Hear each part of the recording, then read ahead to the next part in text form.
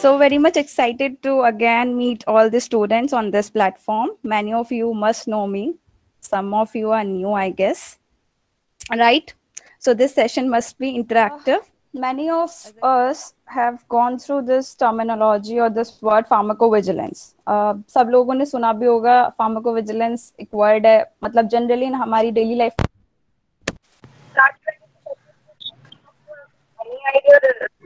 आवाज नहीं आ रही मैम हेलो आ गई मैम कंटिन्यू आवाज़ आ रही है Yes, ma'am. Yes ma'am Yes, ma'am. Okay, I'm just hoping for your patience, listening, and cooperation. That's all I need from your side. Screen visible hai? Voice is clear. Can I start now? Yes, ma'am. Yes, ma'am. Yes ma'am So, do any of you having any idea related to a vigilance, pharmacovigilance field? Anyone? I have taught you also. Um, detection and prevention of adverse effect of drug or medicine. Yeah. Very good. So uh, you can break this term pharmacovigilance, pharma and pharmaco and vigilance. There are two terms. Segregate two two words. Take care. तो pharma means what Pharmacon की अगर हम बात करते हैं that is related to our drug and last term is the vigilance, which we can say vigilar or vigilance, that is to keep and watch, to keep an eye. Fine. हमने उस word को दो बार, दो words में break कर दिया pharmaco and vigilance that is a drug और to keep and watch an eye on the drug so basically ये फार्माको विजिलेंस का आइडिया कहाँ से आया? व्हाट हैपेंस कि ये फार्माको विजिलेंस फ़ील्ड आया। क्या हम लोगों को पता था? We are taking the medicine we are taking the drugs तो before long time ago in fifty century fifty in the fifteen era that कि हम लोग ड्रग ले रहे हैं तो उससे क्या हमें कोई एडवर्स ड्रग रिएक्शन हो सकती है या एडवर्स इफ़ेक्ट हो सकता है? नहीं पता था। तो कुछ हिस्ट्री में ऐसे इंसिडेंसेस हुए जिसकी वजह से हमारा जो फार्माकोविजिलेंस है वो इवॉल्व हुआ। ठीक है तो फार्माकोविजिलेंस क्या है basically as I am telling you it is the to keeping an eye on a drug So when I define pharmacovigilance, according to the WHO, it is the science and the activities which are relating to what? Relating to the four major uh, parameters that are detection, assessment, understanding, and prevention of adverse effects. Can you see on the slide? Please read it carefully. relating to the detection, assessment, understanding, and prevention of the adverse effects or any other drug related problems which are associated with the medicinal product. Getting it? Yes, ma'am. Fine. Now, uh, when we are uh, studying pharmacovigilance, there are terminologies which should be clear to all of us that is adverse drug reaction and adverse event There are uh, other terminologies also, we'll be moving in that later. But for now, ADR and AE, what is it? Are both the same? Are the both things are the same or not?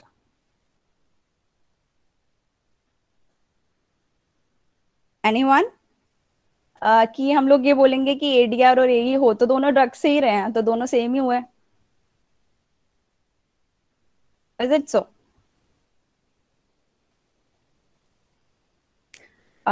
fine so adverse drug reaction is basically हम उसको define कैसे करते हैं? When we are taking a drug and there is a direct causal relationship between the event that is happening to us with the drug I you getting it it is a response एक response है हमारे drug से जो हमको मिल रहा है which is occurring uh, by how there is a causal relationship between that event which is occurring and the drug which we are taking the, the drug which is administered in us and when we are talking about the adverse event event is any medical occurrence in a patient with the drug uh, but it is not possible that there will be a direct causal relationship between that drug and the event right for example एक example इसको समझते हैं जैसे हम लोग anti histaminics लेते हैं right right? तो एंटी हिस्टामिनिक्स लेंगे तो उसका एक एडिया uh, होगा sedation it will cause sedation and for example a person is driving a car he has taken antihistaminics before it and suddenly he met with an accident so वो accident या injury वो क्या हुआ? Event हुआ या ADR हुआ? Anyone? That will be an adverse event. Am i audible now? Yes, ma'am. ठीक है?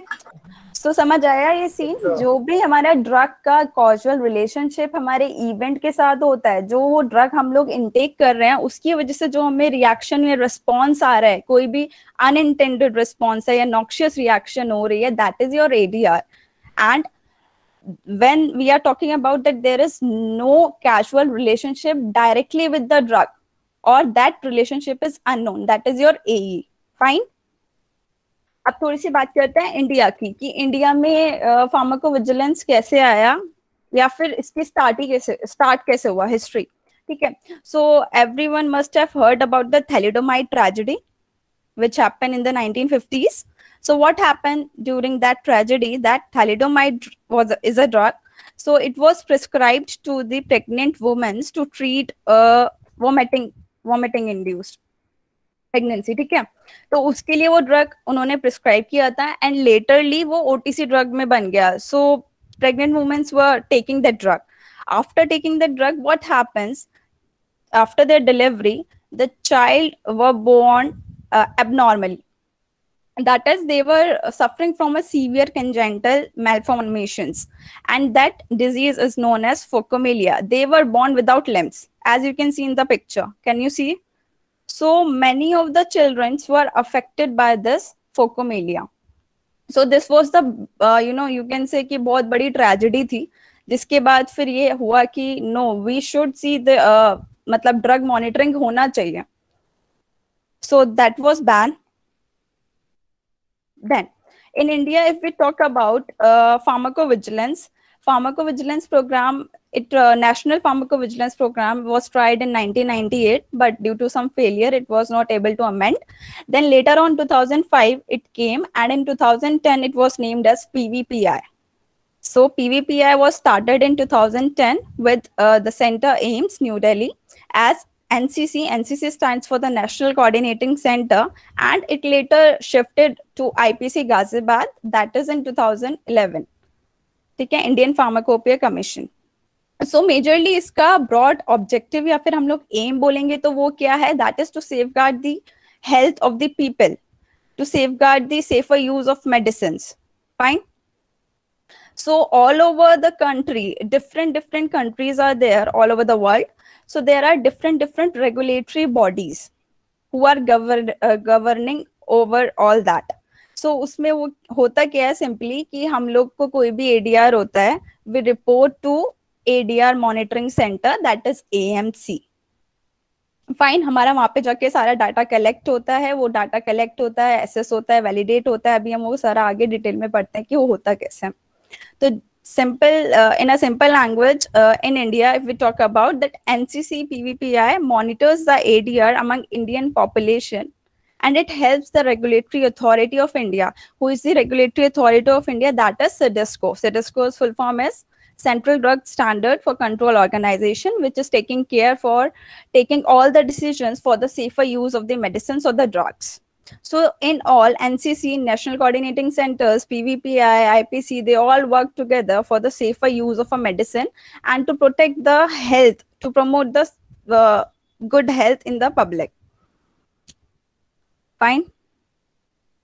Now, अभी हमारा सारा डेटा होता है एएमसी uh, से हमारा आता है एएमसी हमारा सारा एग्रीगेट करता है वो हमारा एनसीसी को देता है दैट इज़ आईपीसी गाजियाबाद वहाँ से वो हमारा CDSCO and then it goes to UMC UMC is what UMC is the Uppsala monitoring centre which is situated in the Sudan.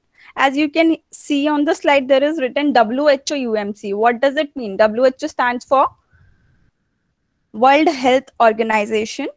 Its headquarter is in Switzerland. Basically, इसका collaboration UMC से हुआ for the international drug monitoring and it is located in the Uppsala, Sweden. So what UMC is doing? What is the work of UMC? It is collecting, assessing and communicating the information from the member countries.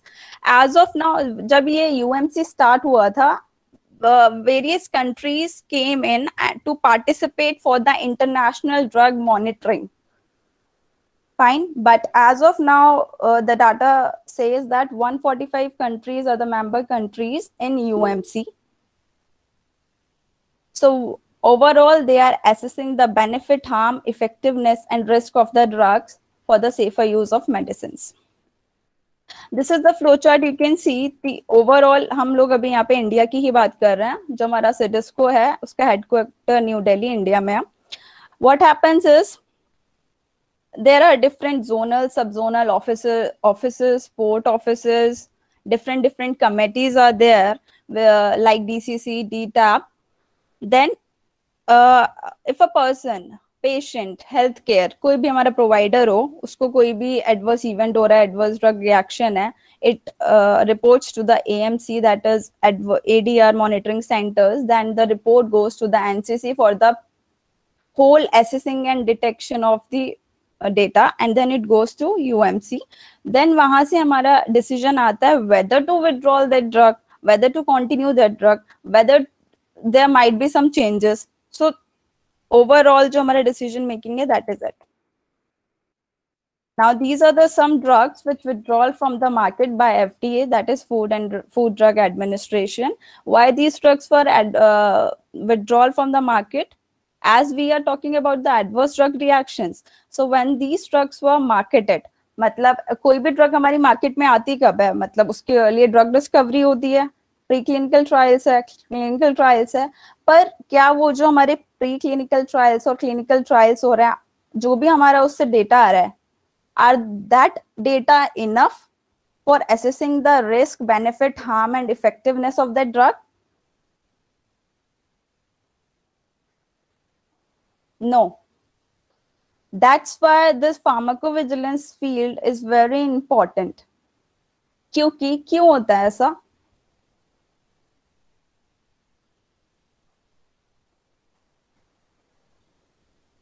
आवाज़ आ रही है? Yes, ma'am, you are audible. Yes ma'am आ रही है आवाज़। हाँ। तो क्यों होता है ऐसा? हमारे पास तो प्री क्लिनिकल ट्रायल्स भी है हमारे पास क्लिनिकल डाटा भी है then also we are doing this because there are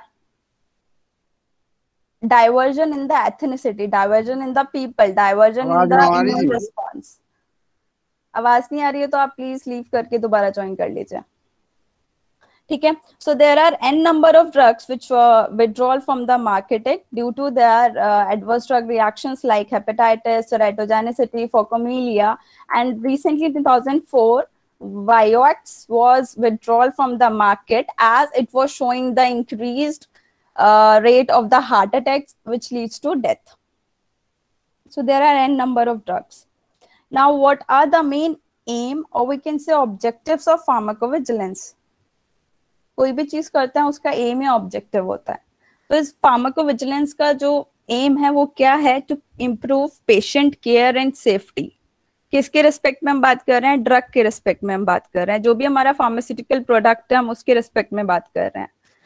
public health उसकी सेफ्टी को इम्प्रूव करना उसका एक एम है। हमारे जितने भी हम मेडिकेशंस ले रहे हैं to detect the problems if they are are related to these medications fine. The very much important aim is to contribute the assessment of benefit risk harm effectiveness of the uh, drug leading to the prevention of harm. harm को हमें prevent करना है benefit को हमें maximize करना है so that it could be a effective medicine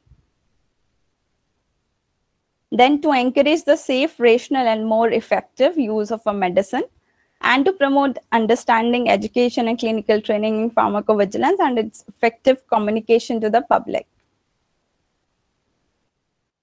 now is uh, what is the need this the last slide was about the aim of the vigilance हमें इसकी नीड क्यों आई। जैसे कि अभी मैंने बताया हिस्ट्री में बहुत सारी ट्रेजिडीज हुई, जिसकी वजह से एक आइडिया है कि नहीं there must be and monitoring thing तो वो क्या था हमारा? वो है हमारा फार्माको विजिलेंस किसके लिए है foremost thing is the patient safety fine so uh, for the safer use of the medicines as i was uh, telling you that preclinical trials होते हैं clinical trials होते हैं तो data जो हमारे पास आता है वो insufficient आता है कि हम उसको assess कर पाए कि हाँ it is okay for human safety right so clinical trials में क्या होता है डिफरेंट फेजेस होते हैं डिफरेंट डिफरेंट हमारे पास कैटेगरीज होते हैं डिफरेंट डिफरेंट हम डिज़ीज़ पर्सन को ले रहे हैं या फिर नॉन डिज़ीज़ पर्सन को ले रहे हैं हेल्दी ह्यूमन बींग को ले रहे हैं उनकी फिजियोलॉजिकल कंडीशन अलग हैं।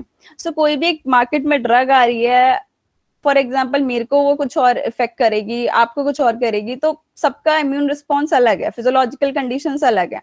So to study those things pharmacovigilance is a great field then condition of use in the trials differ from those clinical practices so they miss may miss drug interactions या फिर off label uses now what happens is drug drug interactions agar drug food interactions agar there are many interactions which are occurring in the body so वो interactions की वजह से भी हम लोगों को adverse drug reaction हो सकता है या फिर off label uses fine. Now when we are talking about clinical trials there are specific groups which we are taking. Like like there is specific uh, age adults hum kitne se kitne age tak lete hain. So that is also a limit of the clinical trials. Then specifically for unexpected and serious adverse event that can only be captured by pharmacovigilance there are uh, there are very unexpected and serious adverse events like the a person is taking an extra we can't expect कि हाँ ये वाला event भी इसको हो सकता है but when the person is reporting we are uh, we came to know that yeah this could be due to this drug then in India if I talk that there is a vast ethnic variability जितनी variability है उतने ही events होने के chances हैं उतने ही reaction होने के chances ज्यादा हैं practice of different system of medicine there are different systems of medicines like allopathy ayurveda herbal medicines so कभी कभी होता है कि कोई पर्सन uh, मेडिकेशंस डिफरेंट उस पे मेडिकेशंस उसकी चल रही है तो उससे भी उसको इफ़ेक्ट हो सकता है then different disease prevalence pattern so these are all other need of the pharmacovigilance and in the end i would like to say dying from disease may be inevitable but dying from medicine is unexpectable so that's why the pharmacovigilance is in a form to use for the safer use of a medicine. Now, what are the basic terminologies which are used in the pharmacovigilance? We have talked about ADR, we have talked about AE, we have talked about PV.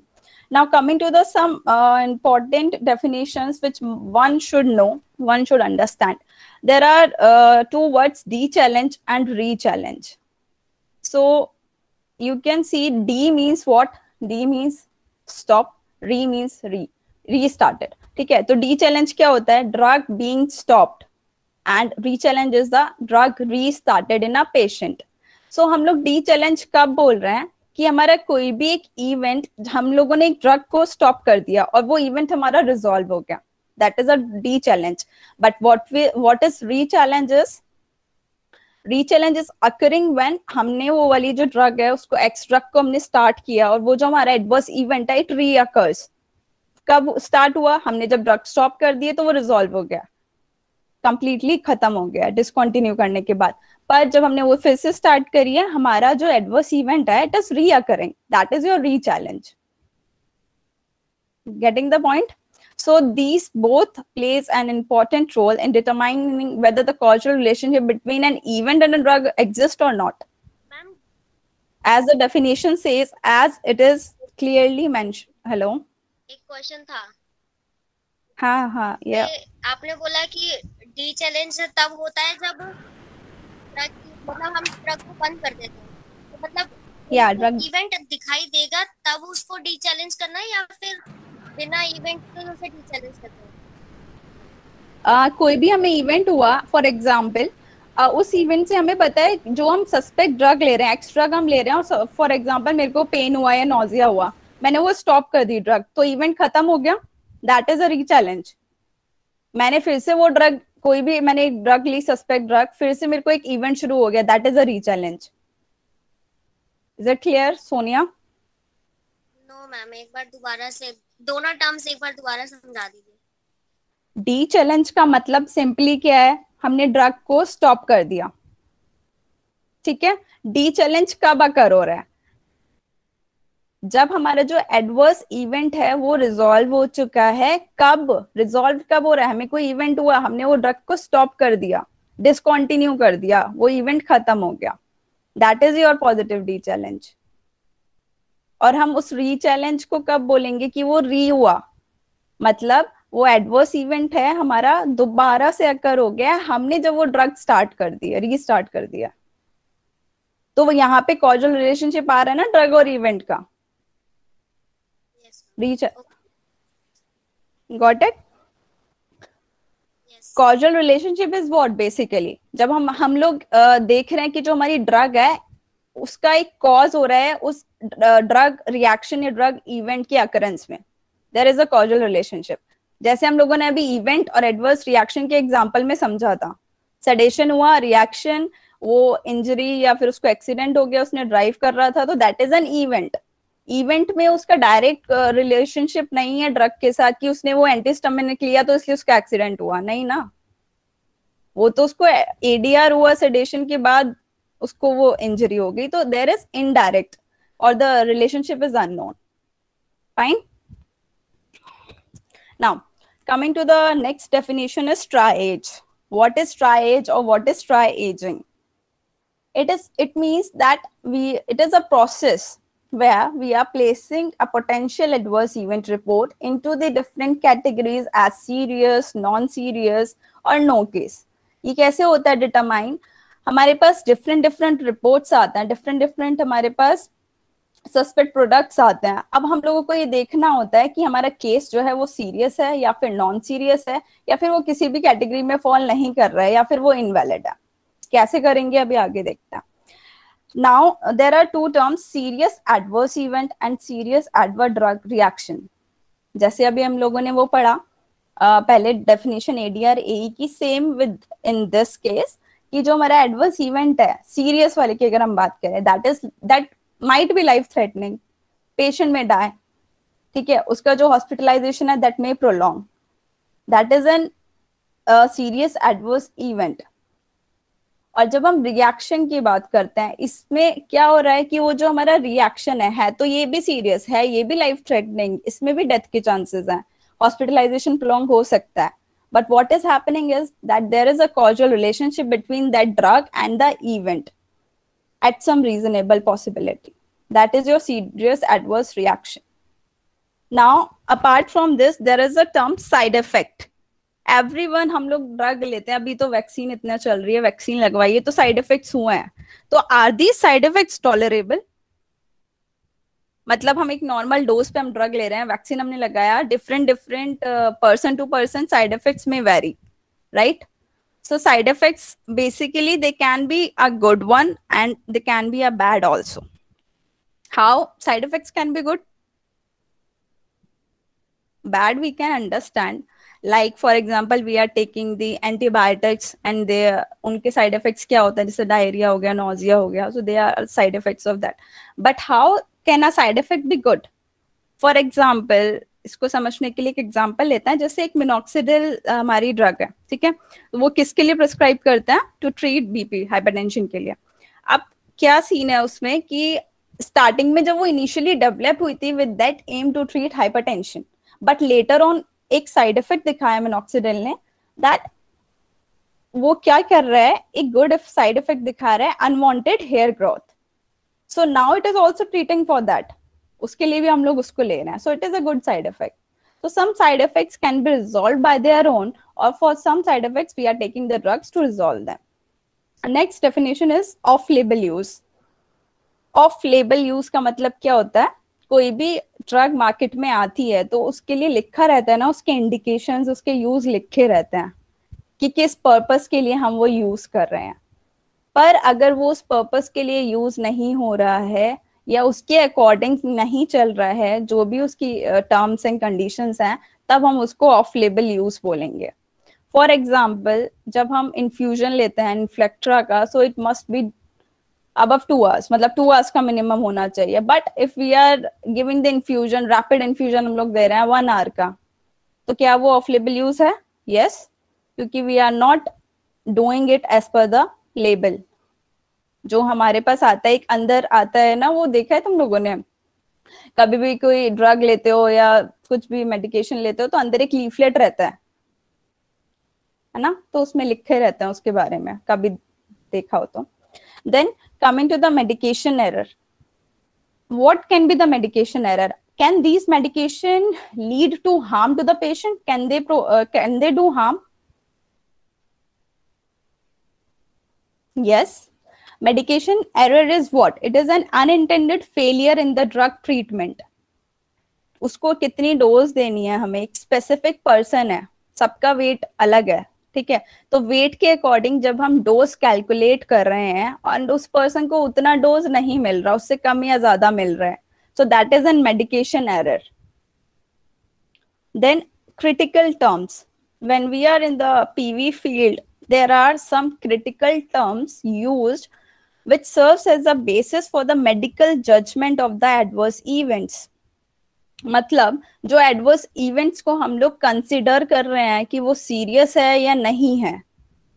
How can we consider a event serious और a non serious basis on the list of a critical term W H O ने एक list guideline एक उसकी already है जिसको हम लोग पढ़ते हैं देखते हैं क्या हमारा जो इवेंट है it is a critical one और not so there are many guidelines which are under who which we see and follow them so when we are talking about the pharmacovigilance process as the definition says assessing monitoring detecting prevention so basically detecting and reporting adr ठीक है? Detect करना है, हमें report करना है। मैंने कोई भी एक ड्रग ली है एक्स ड्रग मैंने ली है, मुझे कोई भी एक एडवर्स ड्रग रिएक्शन लग रहा है उससे तो आई मस्ट रिपोर्ट दैट अब हाउ टू रिपोर्ट कैसे रिपोर्टिंग करते हैं, वो थोड़ा सा समझते हैं।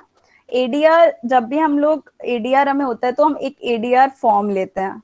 जैसे मैंने अभी तुम लोगों को बताया, हर एक कंट्री का डिफरेंट डिफरेंट रेगुलेटरी बॉडीज हैं। तो उनके अंडर जो भी हमारे एनसीसी जैसे इंडिया में national coordinating centre IPC so they have generated a form on their site so we just that. Before that just uh, let me brief about it. There are types of the reportings ठीक है? Report करना है हमारा कोई भी drug manufacture कर रहे हैं जो भी मैन्युफैक्चरर कंपनी है हमारी वो हमारी ड्रग को मैन्युफैक्चर कर रहा है उसको एक पूरी रिपोर्ट सबमिट करनी है। किसको करेगा? नेशनल अथॉरिटी को करेगा। ठीक है, क्यों करना है? It is a mandatory one it is a mandatory one वो जो ड्रग है मार्केट में आने से पहले हमें उसके सारे एडीआर साइड इफेक्ट्स के बारे में पता होना चाहिए। उसकी सारी इंफॉर्मेशन पता होनी चाहिए वो किसके लिए यूज़ हो रहा है। क्या उसका रिस्क बेनिफिट रेशियो है? And then uh, there is another reporting that is the spontaneous reporting. Spontaneous reporting है जो हमारा सबसे ज़्यादा यूज़ होता है which is the most common form of ADR reporting. जैसे हमारे हेलो जैसे हमारे हेल्थ केयर प्रोफेशनल्स हैं ठीक है? हेल्थ केयर प्रोफेशनल या हेल्थ केयर प्रोवाइडर्स की अगर मैं बात करूँ तो वो कौन होते हैं? हमारे डॉक्टर्स हैं क्लिनिशियंस हैं हमारे नर्स हो गए हैं फिजिशियंस हो गए हैं सो दे और are H C Ps so they identify and report any suspect adverse drug reactions to where? To ncc or to the manufacturer. जिसने भी वो ड्रग को मैन्युफैक्चर किया या तो उस कंपनी को डायरेक्ट करो, या फिर डायरेक्ट एनसीसी को कर दो। ठीक है? So this is a spontaneous reporting and mandatory ones are those जो भी हमारी ड्रग का मैन्युफैक्चरर है, उसको एक पूरी रिपोर्ट सबमिट करनी होती है। जो भी वो if in case he is receiving from the HCPs he has to uh, he has to submit that to nccs which is which must be including all the information relevant to the adrs with respect to that drug to their manufactured drug. अब हमारे पास report किसी भी type में आ गई या फिर हमारी solicited reports होती है। सॉलिसिटेड रिपोर्ट्स क्या होते हैं? सॉलिसिटेड रिपोर्ट्स वो होते हैं जो स्टडीज़ हम लोग करते हैं जैसे क्लिनिकल ट्रायल्स हो गए ये कोई भी हमारे इंटरवेंशनल स्टडीज़ है तो वो सारे हमारे उस रिपोर्ट की कैटेगरी में आते हैं। अब हमारे पास रिपोर्ट रिसीव हो गई है, ठीक है? रिपोर्ट रिसीव होने के बाद what parameters do we need to check for a valid case हमारे पास एक केस आया। We access, we validated whether the case is a valid or case is a non valid or invalid, ठीक है? तो एक केस को valid होने के लिए क्या क्या? फोर पैरामीटर्स हैं which are very important are identifiable patient reporter suspect drug and adverse event इसको समझने के लिए एक एग्ज़ाम्पल लेते हैं example uh, a doctor has submitted a report for the patient. तो डॉक्टर हमारा क्या हुआ? रिपोर्टर हुआ।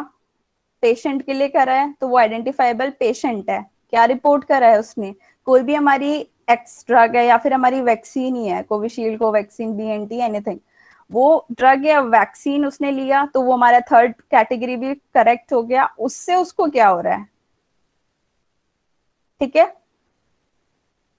That is your adverse event तो ये चारों पैरामीटर जिस भी केस में फॉल होंगे that will be a valid case अब हम कभी कभी हमारे पास इनवैलिड केसेस आ जाते हैं। तो हम वो इनवैलिड क्यों बोल रहे हैं? जब उनमें ये चारों पैरामीटर में से कोई भी एक पैरामीटर फॉल नहीं करेगा। फॉर एग्ज़ाम्पल किसी ने रिपोर्ट uh, कर दिया है पर उसने अपनी आइडेंटिटी रिलीव नहीं करी है रिवील नहीं करी है पेशेंट ने। हमें नहीं पता पेशेंट कौन है। अननोन है और मान लो अगर कोई सीरियस इवेंट है और हमें उन्हें कांटेक्ट करना है तो हम कैसे कांटेक्ट करेंगे तो that will be an invalid fine so once these all four parameters are satisfied we go for icsr icsr is filed icsr is what individual case safety report it is filed for the adverse event that has occurred उसको rash हुआ उसको pen हुआ fever हुआ उसको breathing में problem है difficulty in breathing है swelling है, वो सारा हमारा इवेंट हो गया। So these events can be categorize as हमारा नॉर्मल एडवर्स इवेंट हो रहा है, या फिर सीरियस है, या फिर सुसार है, या फिर लाइफ थ्रेटनिंग है, या फिर वो डेथ हो गई है उसकी। अब एक बार अगर हमारा आईसीएसआर असेस्ड हो गया है कि वो सीरियसनेस के ऊपर उसकी कॉजलिटी हाँ ड्रग के साथ है तो ये जो हमारा पूरा इसको आ, मतलब पूरा एसेस और मॉनिटर करने के बाद हम in the end we submit these reports to the regulatory authorities of the concern countries fine there are different different timelines which are varying based on the seriousness of the event हर एक ICSR, ICSR again I'm telling you this is the individual case safety report, which is generating on the basis of the four parameters. Patient reporter suspect drug adverse event. Clear हुआ? Ma'am patient जो है वो पहले doctor के पास जाएगा form fill करवाने या डायरेक्ट फॉर्म खुद भी फिल कर सकता है? कि उसको हाँ डायरेक्ट भी कर सकता तो है। उसमें फिर डायरेक्ट भी कर उस केस में फिर ये चार पैरामीटर कैसे पूरे होंगे?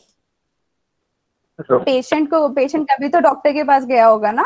उसको उसका कांटेक्ट डिटेल्स देना होता है। अभी मैं आगे बताऊँगी ना स्लाइड में समझ आ जाएगा।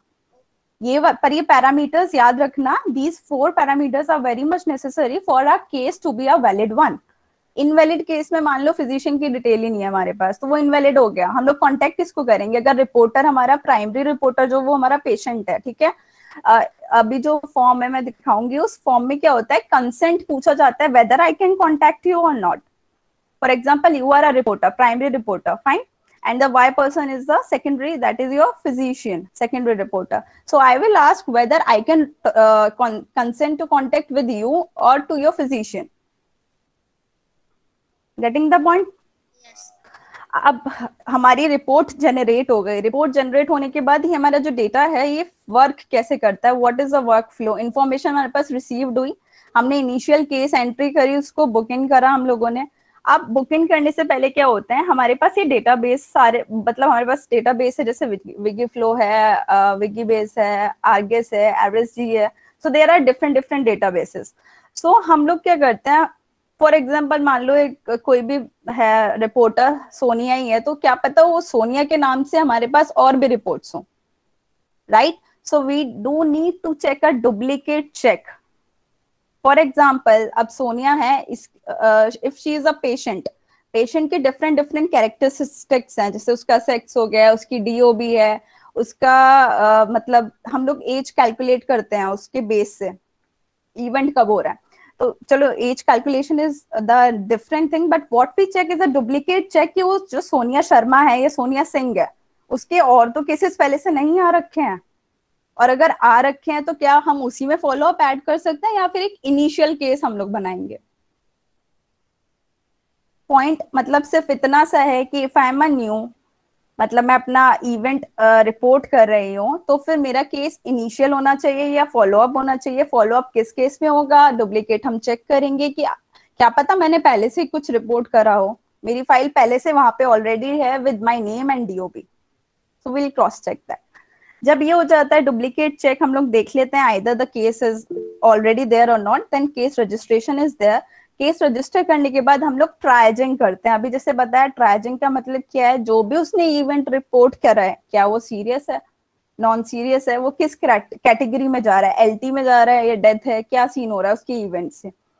हम उसको प्रायोरिटीज देते हैं case one two three four five six seven ऐसे हमारे पास डिफरेंट प्रायोरिटीज होती है। Either the case is a invalid either the case is a non serious और the case is a serious mainly ये तीन ही क्राइटेरिया हैं जो फॉलो करता है। जब ट्राइजिंग हो जाती है ट्राइजिंग के बाद what we do we have the source document the patient और द रिपोर्ट फिजिशियन जिसने भी हम लोगों को कांटेक्ट uh, किया है रिपोर्ट की है अपनी एडीआर रिपोर्ट तो वो पूरी हमारे पास है। अब हम, हमें उसकी डेटा एंट्री कर लिया data entry in what it is you know filling up all the information all the missing information and all the relevant information in the database then the narrative writing narrative writing is what मुझे patient ने बताया कि मैंने extra Lee on fourteen July twenty twenty one उसके बाद मेरे को 10 दिन बाद ये रिएक्शन हो गया। साथ ही साथ मेरी और भी ड्रग्स कॉन्मेट चल रही है। वो कॉन्मेट चलते चलते भी रिएक्शन हो रहे हैं।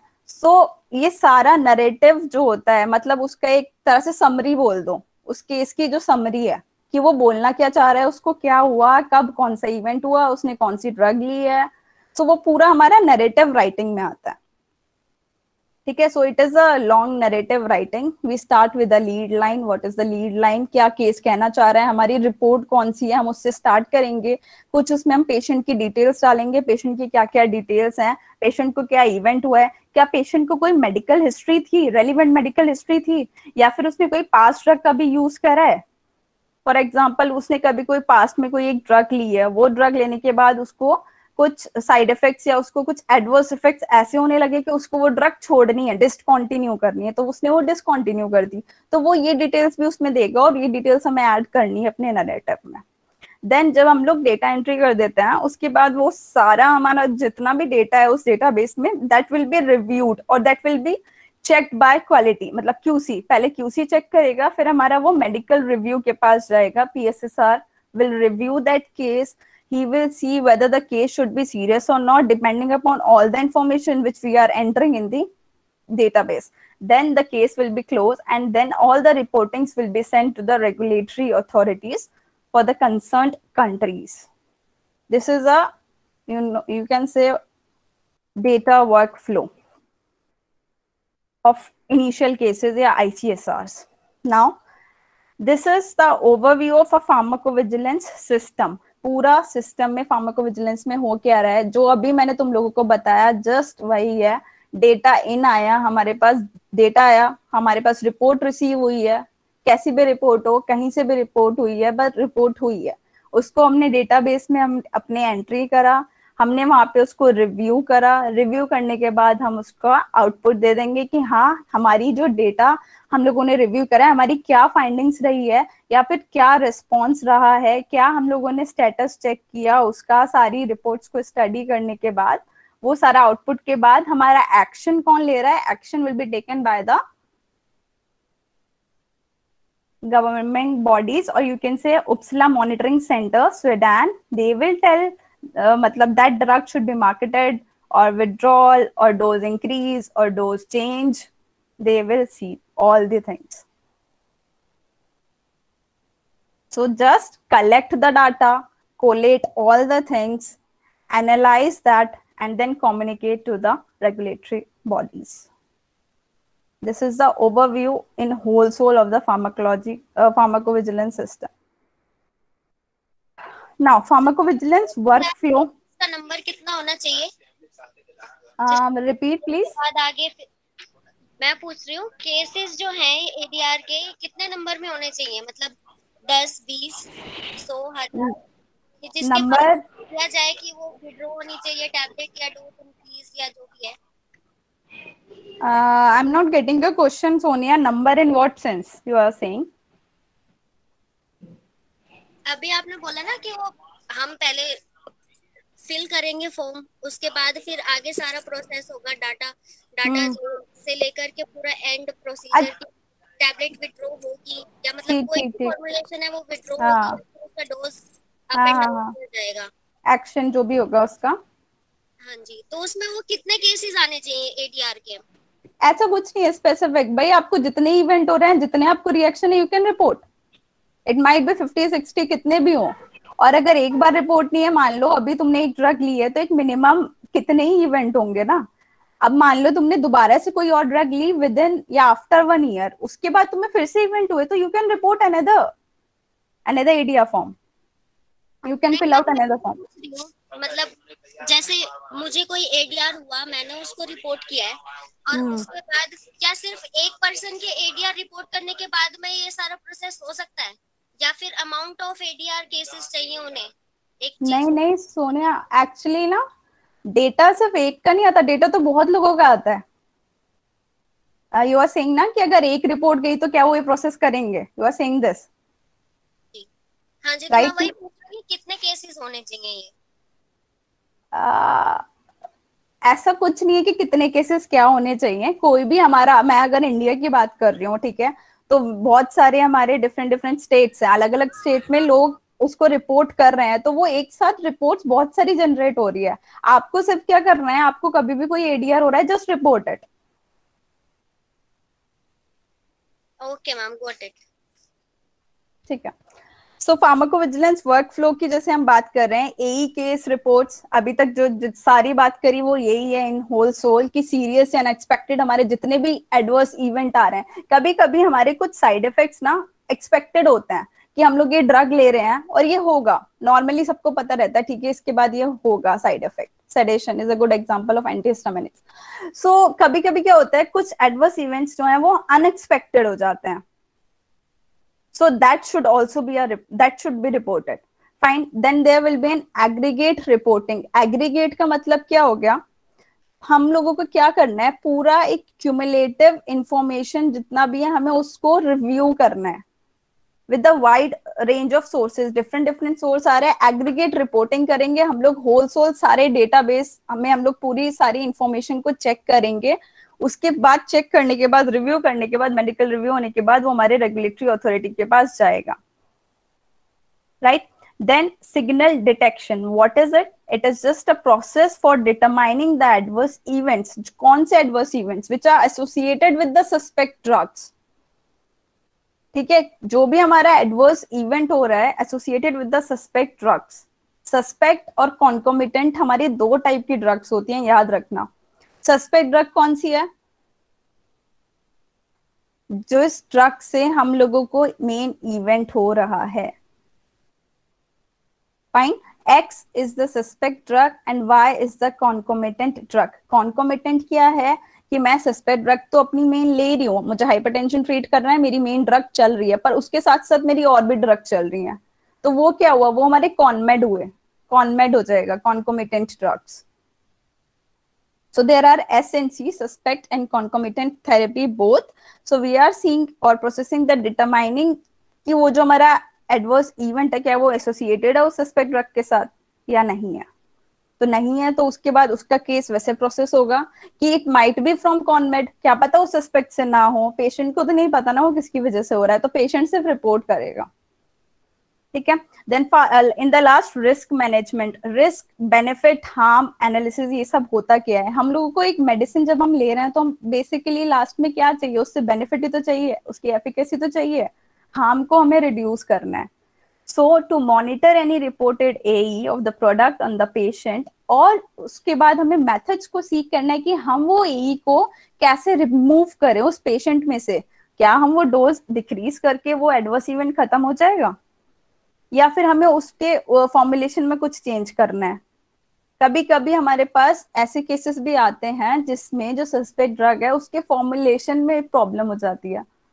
Fillers binding agents we do add these things तो इसके भी केसेस आ जाते हैं। नाउ जब हमने बात कर ली रिपोर्टिंग की टाइप्स ऑफ़ रिपोर्टिंग हो गया स्पॉन्टेनियस है मैंडेटरी रिपोर्टिंग है solicited expedited these all other reporting forms reporting types अब रिपोर्ट करना है हमें एडीआर ठीक है? किसको रिपोर्ट करना है कहाँ करना है क्या करना है? ये भी पता होना चाहिए। Who can report what when how and where. Starting hello ma'am एक क्वेश्चन था। हाँ जी बताइए। What is the difference between ADR and side effects या अभी इसको लें लास्ट में ये वाला क्लियर करके। ओके मैम ठीक है? ADR and side effects will discuss now first of all let me cover this who can report अभी जैसे हम लोगों ने बात किया क्या सब लोग रिपोर्ट कर सकते हैं? Yes yes. सारे एचसीपी या फिर नॉन एचसीपी नॉन एचसीपी कौन हो गए? द पेशेंट और a consumer HCPs, doctors, pharmacists, nurse, physicians, clinicians, these all are HCPs. So they all can report the ADRs directly to NCC or AMC. Now, what to report? हमें report करना क्या चाहिए? हमारे जितने भी suspected adverse drug reactions हो रहे हैं इररिस्पेक्टिव की मतलब मेरे को वो पता है कि वो एडीआर या साइड इफ़ेक्ट होना है या नहीं होना या फिर वो सीरियस है या नॉन सीरियस है। If it is a frequent और अ रेयर वन ये सारी चीज़ें भूल जाओ पर कोई भी हमें एडीआर हो रहा है वी शुड रिपोर्ट दैट ठीक है? Reaction caused from the all types of different types of pharmaceutical products कोई भी हम मेडिसिन यूज़ कर रहे हैं और हमारी डिफरेंट टाइप्स ऑफ़ सिस्टम्स हैं, जैसे एलोपैथी है आयुर्वेदा हो गया वैक्सीन है मेडिकल डिवाइसेस है। कोई, कुछ भी, जो भी रिएक्शन हो रही है दैट शुड बी रिपोर्टेड अभी मैं पढ़ भी रही थी अभी न्यूज़पेपर में ही पढ़ा था। एक न्यूज़ थी कि हर्बल मेडिसिन थी। हर्बल मेडिसिन है तो उसमें कोई भी हमारा केमिकल अदर तो यूज़ होना नहीं चाहिए पर उसमें एक अदर केमिकल यूज़ था जिसकी वजह से वो फिर रिपोर्ट हुआ। तो ये सारे कभी कभी हो जाते हैं इनके भी इंटरेक्शन हो जाते हैं जो दिखता है बाद में तो वो सा, सारी चीज़ें रिपोर्ट करना है। उसके बाद वेन टू रिपोर्ट कब रिपोर्ट करना है अगर हमारा नॉन सीरियस केस है मान लो कोई भी मेरे को एडवर्स ड्रग रिएक्शन हो रहा है, वो इतना सीरियस नहीं लग रहा so we can report when we are taking the drug we can report within thirty days but जितने भी सीरियस इवेंट या लाइफ थ्रेटनिंग इवेंट्स हो जाते हैं या डेथ इवेंट अगर हो गया so it should be reported as soon as possible the person can report or the limit is within the seven days it can report. There are different different timelines also. That is a detailed one. We'll let you know later on sometime. If you want to ask you can just call me now how to report अभी हम लोगों ने बात की who what when कोई भी कर सकता है HCP नॉन HCP क्या करने हैं हमें जितने भी हमारे एडवर्स ड्रग रिएक्शंस हो रहे हैं चाहे वो हमें पता हो चाहे सीरियस हो चाहे नॉन सीरियस हो that should be reported and when to report within a calendar days 30 days and 7 days how to report इसको रिपोर्ट कैसे करना है अभी हम लोगों के पास different ADR reporting forms available हैं according to the different countries for example MedWatch हो गया हमारा येलो कार्ड है यूएस uh, में यूके में इंडिया में हमारा suspected adverse drug reaction reporting form है. So in india we are concerned to the suspected adverse drug reaction reporting form जो कि अवेलेबल है आईपीसी की वेबसाइट या सिडिस्को की वेबसाइट पे मिल जाएगा। हमें पूरा फॉर्म है किसके लिए? एडीआर रिपोर्टिंग के लिए। और हमेशा उसका अपडेटेड वर्जन ही यूज़ करो। उसी में सारा अपना डेटा फिल करके सेंड करना होता है। और अभी तो पीवीपीआई ने इतना इजी और स्मूथ कर दिया है कि for India I am talking about that there are ADR in the vernacular translation और the languages in I guess I ten languages like Hindi Marathi Tamil तो डिफरेंट डिफरेंट लैंग्वेजेस में भी ADR forms हैं। For the convenience to the people so that they can report. Also अभी कितना easy हो गया कि टोल फ्री नंबर है उस पर कॉल करो you can call on that you can report और अभी रिसेंटली एक ऐप भी जनरेट हुआ है दैट इज़ एनसीसी पीवीपीआई ने एक मोबाइल एप्लीकेशन को जनरेट uh, किया है डेवलप किया है for what for this only reporting the ADR ठीक है? तो उससे थोड़ा प्रोसेस स्मूथ हो जाएगा। अभी अंडर रिपोर्टिंग इंडिया में क्यों चल रही है? क्यों रिपोर्टिंग इतनी नहीं हो रही है? अगर आप बाहर में देखिए कनाडा वगैरह में तो वहाँ रिपोर्टिंग बहुत है। वो कोई भी मेडिसिन ले रहे हैं। इवन इन केस उनको छोटा सा भी एडवर्स ड्रग रिएक्शन या कोई इवेंट भी हो रहा है फिर if they are losing their hair ना they are also reporting that but in India that is under reporting that is due to lack of information I say कि इतना अपडेटेड नहीं है इतना पता नहीं है and let it go things कि हाँ चलो हो जाएगा ठीक we do that so that is why that's the issue and where to report we can report our ADR reporting form directly to the nearest AMC or directly to the NCC या फिर हम directly उनको mail कर सकते हैं या फिर हमारे पास national coordinating centers है in India there are around 349 I guess 349 NCCs at present fine so these uh, five things must be clear who what when how where to report this is this is the app which i was talking about it is somewhat blur so just see on google uh, वो sorry play store पे मिल जाएगा आपको ये pvpi mobile app and this is just a general flow chart कोई भी हमारा consumer है health मतलब पेशेंट है, बस उसने या तो डायरेक्टली हमारे एचसीपी को रिपोर्ट करा तो हमारा एचसीपी डायरेक्टली रिपोर्ट कर देगा एनसीसी को, या फिर वो डायरेक्टली हमारा जो पेशेंट है टोल फ्री नंबर या ये ऐप यूज़ करके या फिर फॉर्म फिल करके डायरेक्टली सबमिट कर दे। एंड यहाँ से हमारा इंडस्ट्री है, जैसे मैन्युफैक्चरर बताया, जो भी ड्रग को मैन्युफैक्चर कर रहे हैं, वो डायरेक्टली एनसीसी को करे, या फिर हमारा जो एचसीपी है, वो हमारे जितने भी एडीआर मॉनिटरिंग सेंटर्स हैं एएमसी पे रिमोट रिपोर्ट कर रहे हैं, वहाँ से हमारा डेटा कलेक्ट होके एनसीसी पीवीपीआई में जा रहा है that is IPC Ghaziabad fine. These are the types of the reporting forms which i was talking about. Different countries are having different formats of the reporting forms. This is uh, first one red one is for the india suspected adverse drug reaction reporting form. Uh, sorry for the blurriness of this slide. I got this uh, in a blood form but i'll tell you what the form does consist of क्या होता है इसमें? सबसे पहले patient के characteristics के बारे में पता होता है। अभी जैसे हम लोगों ने बात किया है, एक केस को वैलिड होने के लिए पैरामीटर्स है चार। तो इस फॉर्म में क्या सीन है? इस फॉर्म में हमारे पास पेशेंट की इंफॉर्मेशन रहती है पेशेंट की डिटेल्स है, उसका क्या डीओबी है, जब उसने वैक्सीनेशन करा है उसकी एज क्या है वेट क्या है हाइट क्या है तो ये नॉर्मल एक इनिशियल रहता है पेशेंट के, जो हमें उसमें फिल करने होता है। पेशेंट के बाद हमारे पास उसमें सस्पेक्टेड एडवर्स ड्रग रिएक्शन भी रहेगा सस्पेक्टेड ड्रग भी रहेगा। पेशेंट ने कौन सी ड्रग ली है? उस ड्रग के बारे में हमें ये वाला जो है ना, नीचे कॉलम है, ये वाला, मेरा कर्सर देख सकते हो। तो इसमें ड्रग की इंफॉर्मेशन सारी रहेगी कि वो कौन सी ड्रग है किस कंपनी ने उसे मैन्युफैक्चर किया है? अगर वो ड्रग है, उसका कुछ लॉट नंबर या प्रोडक्ट नंबर बैच नंबर होगा, उसकी एक्सपायरी डेट होगी तो वो सारी चीज़ें हमें मेंशन करनी है। आप कितनी डोज में उसको ले रहे हो, उसकी क्या फ्रीक्वेंसी है, कौन सा रूट ऑफ़ ड्रग एडमिनिस्ट्रेशन है whether oral I V I M तो वो सारा आपको मेंशन करना है फ्रीक्वेंसी उसके बाद क्या वो ड्रग अभी भी चल रही है कंटिन्यू ऑनगोइंग है, या फिर वो परमानेंटली विड्रॉन कर दिया या टेम्पररी विड्रॉन करा है, या फिर वो ड्रग कोई आ, मतलब अपना एफिकेसी शो नहीं कर रही तो इसलिए आपने छोड़ दिया है उसको। तो ये पूरा फॉर्मेट ऐसे रहता है हमें इसमें वो सारी रिएक्शन उस ड्रग के बारे में सारा इंफॉर्मेशन हमें फिल करना है। उसके बाद हमारे पास ये ऊपर जो कॉलम है that is suspected adverse drug reaction उस ड्रग जो सस्पेक्टेड ड्रग है उससे हमें क्या रिएक्शन हो रहा है उसकी डिटेल हमें फिल करनी है।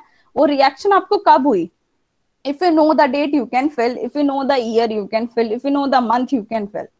Whatever the matlab information is with you you can provide to the, that report. So onset कब हुई उस रिएक्शन की? क्या वो जो रिएक्शन तुम्हें हुआ, वो अभी भी रिकवर्ड अभी भी नॉट रिकवर्ड है? अभी भी वो चल रहा है ऑनगोइंग है? या फिर कभी कभी होता है ना, कोई रिएक्शन हुआ, हमने मेडिकेशन लिया, हमें लगा कि वो वाला रिएक्शन हमारा रिकवर्ड हो रहा है रिजॉल्व हो रहा है धीरे धीरे तो we can say recovering resolving या फिर वो पूरा ही रिजॉल्व हो गया तो हम लोग लिख देंगे रिजॉल्व कंप्लीटली रिजॉल्व ठीक है? उसके बाद हमें वो रिएक्शन को डिस्क्राइब uh, करना है क्या हुआ आपको? ठीक है? Like the patient was having BP कितना बीपी था उनका? कितना उसका अभी वेट है इस टाइम पे? उन्होंने जब वो ड्रग ली है उस ड्रग के बाद वो वेट इंक्रीज हुआ है या वेट डिक्रीज हुआ है? जितने भी मतलब उन्होंने जो भी टेस्ट कराए हैं वो सारी हम उसमें डिटेल लिखेंगे पेशेंट की। फाइन इतना समझ आया? ये सारी डिटेल रहेंगी इसमें। उसके बाद डिटेल क्या रहता है? कॉन्मेट्स का डिटेल रहेगा। अगर मान लो सस्पेक्टेड ड्रग तो ठीक है मैंने ये वाली ड्रग ली और इसके बाद मेरे को ये रिएक्शन देखने को मिला। पर मेरी पहले से कोई मेडिकेशन चल रही है। ठीक है तो वो मेडिकेशन मैं वो भी मेंशन करनी है कि हाँ I am also taking these medication और उसका भी सेम यही फॉर्मेट है सेम डोज फ्रीक्वेंसी रूट सब बताना है बैच लॉट नंबर अगर उस प्रोवाइडेड है नहीं होता तो अननोन लिख देते हैं। देन उसके बाद यहाँ पे नीचे तो यही है, यहाँ पे आ जाओ। सीरियसनेस ऑफ़ द रिएक्शन वो जो आपको रिएक्शन हुई, क्या वो सीरियस है? उसके मतलब लाइफ थ्रेटनिंग है क्या आप हॉस्पिटलाइज थे हॉस्पिटल में थे तो हॉस्पिटलाइजेशन टिक हो जाएगा। हाँ आई वॉज़ हॉस्पिटलाइज अगर उसकी डेट है तो वो मेंशन कर देना। उसका आउटकम क्या हुआ? कि डेथ हुई है या फिर वो रिकवर्ड रिजॉल्व जो मैंने बात करी थी, वो सारा हमारा आउटकम में आ जाएगा। ठीक है? इवेंट हो गया। इवेंट होने के बाद यहाँ पे एक और बॉक्स रहता है जिसमें वो पूरा अपना डिस्क्राइब कर सकता है समरी कि उसको कभी पहले कोई इवेंट हुआ, उसने पहले कोई पास ड्रग ली। पास ड्रग लेने के बाद उसने वो फॉर एग्ज़ाम्पल ट्वेंटी इलेवन में उसने कोई स्टार्ट किया और ट्वेंटी फिफ्टीन में उसने खत्म कर दिया तो वो वो भी इंफॉर्मेशन देना मैंडेटरी हो जाता है।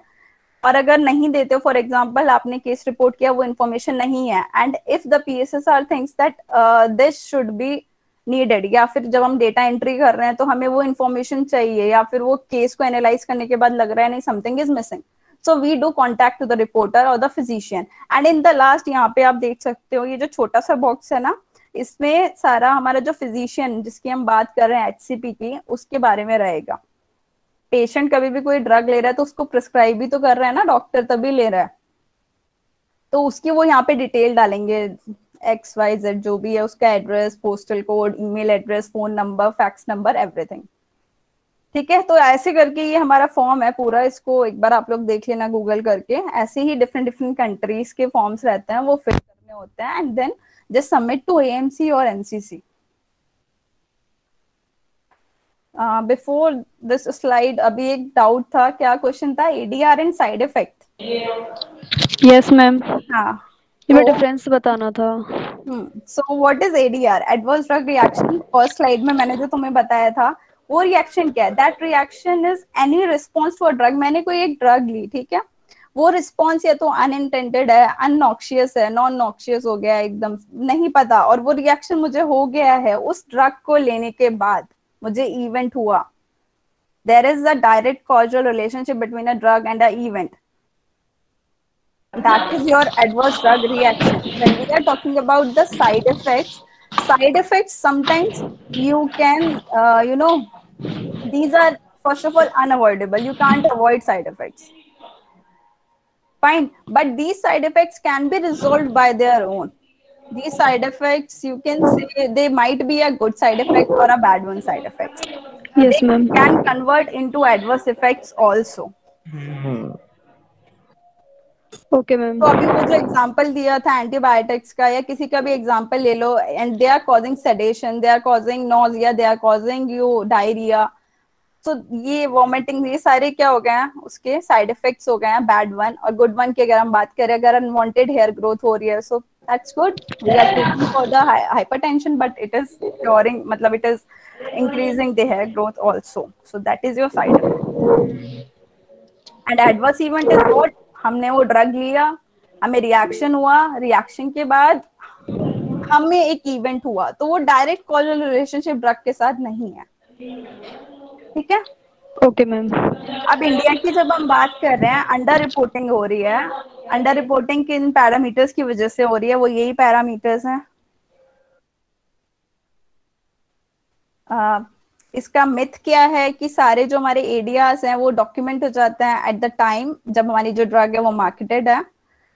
We are uncertain about causality और हम ये सोचते हैं कि हम जो रिपोर्ट कर रहे हैं, वो एक डिफरेंस नहीं क्रिएट कर रहा, है ना? एक रिपोर्ट हम दिया वो कोई डिफरेंस नहीं देगा बट या it do make a difference we do get to know different types of adverse events we do get to know different types of the conditions so that is very much important ADR should only be reported if certain known side effects should not be reported. अगर हमारा leaflet आता है कोई भी drug के अंदर और हमें पता है ये साइड इफेक्ट्स होने हैं तो वो उसको रिपोर्ट करने की ज़रूरत नहीं है पर हाँ अगर वही साइड इफेक्ट्स हमारे सीरियस हो रहे हैं तो वी शुड रिपोर्ट दैट